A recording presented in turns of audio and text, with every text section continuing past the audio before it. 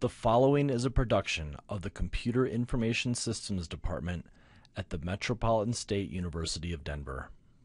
Hello and welcome. In this video we are going to explore return values and variable scope in Python. In a previous video we explored basic functions and parameters. If you have not already watched that video or are not otherwise already familiar with functions and parameters, I suggest you pause this video and watch my YouTube video, Introduction to Python Functions, and then come back to this video. In our previous video, we examined methods that could take in values through parameters, manipulate those parameters, and then print them. However, these functions did not give the results of the work they performed in the body of the function back to the part of the program that called them. If we want to return a value from a function, we need to include a return statement. When a return statement is called, it will end the operation of the function it is part of and will return the stated value to the calling program line. Let's do a quick example to illustrate what I'm talking about. In this example, I have created a function called getFullName. The function header is on line 5 and the body of the function is the code from lines 6 to 11. Lines 8 and 9 are commented out, and I'll get to these later in this video. The getFullName function will accept two parameters, fname and lname. The first thing the function does is print out the values of the parameters it was passed. This is always a good way to debug and test your code. Next, the function concatenates the values of the parameters fname and lname and assigns that concatenated value to a variable called first and last. Finally, the function will return the value of the first and last variable to the line of code that called the getName function. In this case, the function was called by a print statement, and the print statement will print the value returned by the call to the getFullName function. As we run this code, we get the following outcome.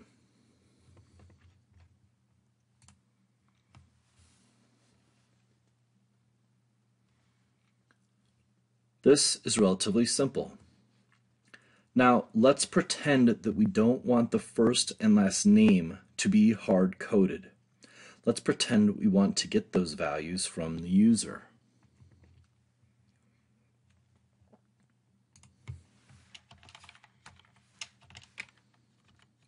In that case, we can use the input function to get two user inputs, and then we can assign those inputs to the variables user input 1 and user input 2.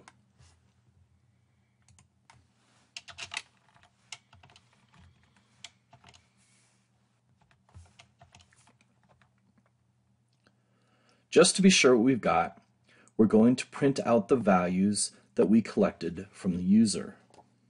At line 21, we call the getFullName function, and we feed it the values that we collected from the user at lines 15 and 16. When the function is called, the value of user input 1 is sent to the parameter fname, and the value of user input 2 is sent to the parameter lname. The first and last names are concatenated into one value, which is then assigned to the first and last variable. And the value of the first and last variable is returned to the function call and assigned to the variable full name. At line 23, I can print the value of the variable full name, and I see that it is the value returned by the getFullName function. It is the first and last name of the user concatenated together.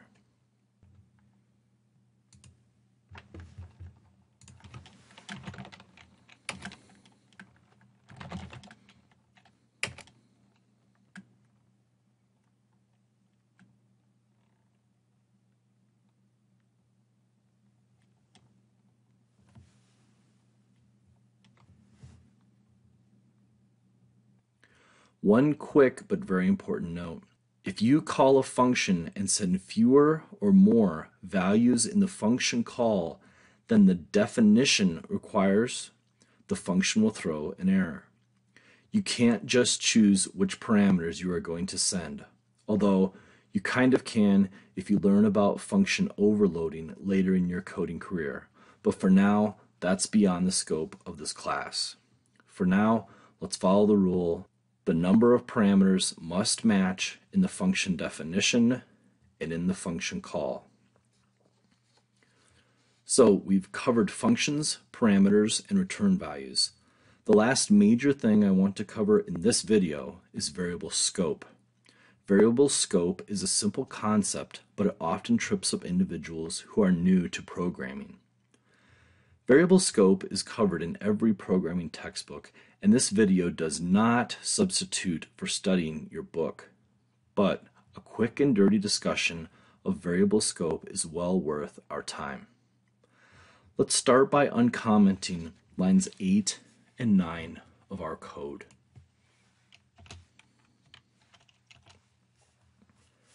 These lines occur within the body of the function getFullName. Now, before you run the code or watch me run it, stop and ask yourself, will lines 8 and 9 work correctly?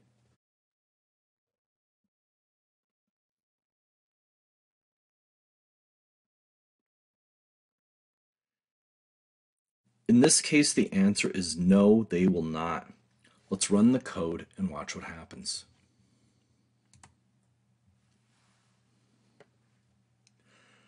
The reason why this code fails is simple.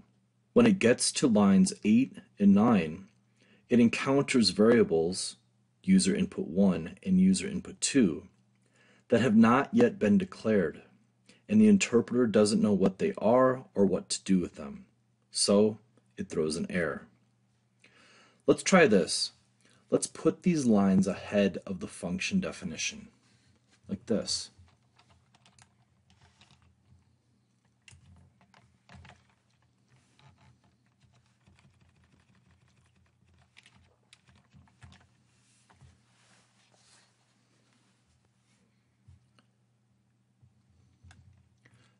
Now the code will run, and it will work just fine because the variables are declared before they are used in the program.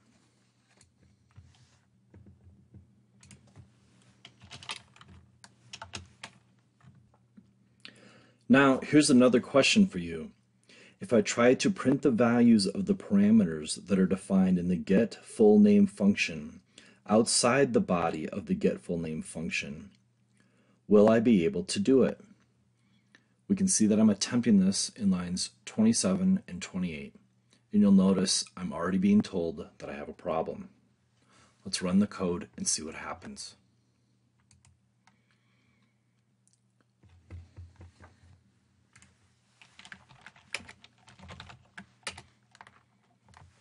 The code initially runs, but it throws an error when it encounters line 27 when it tries to print the value of the parameter fname. The problem is fname is only defined within the getFullName method. When we see it at line 27, it is outside of its bounds, it cannot be read, and will cause an error to be thrown.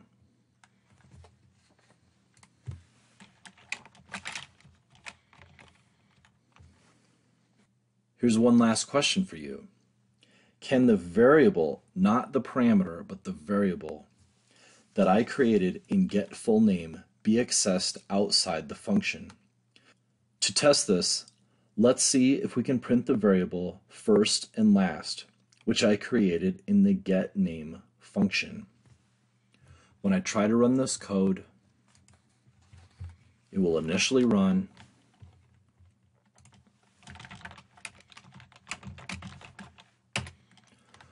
But when it encounters line 30, where it tries to print this variable first and last, the code will throw an error.